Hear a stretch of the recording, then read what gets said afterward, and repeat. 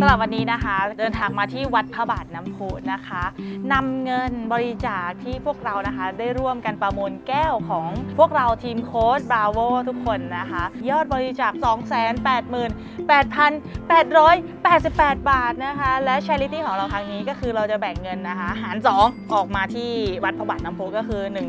144,444 บาทนะคะ แล้วก็ส่วนที่เหลือนะคะ ก็จะนำไปที่บ้านเด็กอ่อนลังสิตนั่นเองนะคะ ตอนนี้มาถึงแล้วนะคะ สถานีแรกของเรานะคะเรียบร้อยค่ะ อนุโมทนาบุญสาธุกับทุกๆท่านเลยนะคะ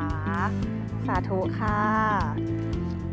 ขอบคุณทุกๆคนมากนะคะ ที่เข้ามาร่วมบริจาคและทำบุญไปกับพวกเรา แล้วก็ขอให้ทุกคนมีความสุข แล้วก็เทรดได้กำไรปังๆ จากการทำบุญร่วมกันในครั้งนี้ค่ะ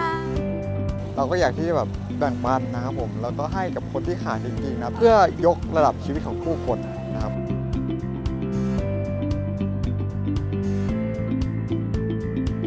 อนนี้เราก็อยู่กันที่สถานสงเคราะห์เด็กอ่อนรังสิตนะคะ ก็ได้นำยอดบริจาคจากทุกๆ คนนะคะนำมาบริจาควันนี้ ซึ่งก็เป็นยอดอีกส่วนหนึ่งนะคะ ที่เหลืออยู่ที่นำมามอบให้กับสถานเด็กอ่อนรังสิตในวันนี้ค่ะอนุโมทนาบุญสาธุกับทุกคนด้วยนะคะ